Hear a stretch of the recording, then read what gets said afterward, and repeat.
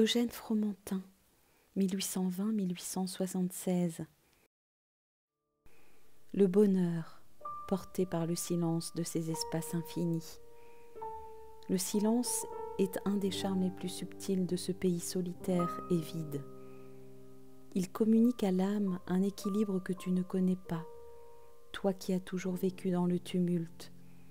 Loin de l'accabler, il la dispose aux pensées légères. On croit qu'il représente l'absence de bruit, comme l'obscurité résulte de l'absence de lumière. C'est une erreur.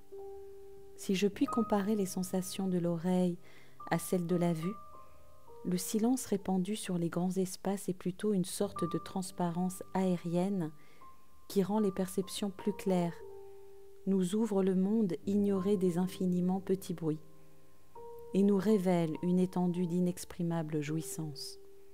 Je me pénètre ainsi, par tous mes sens satisfaits, du bonheur de vivre en nomade.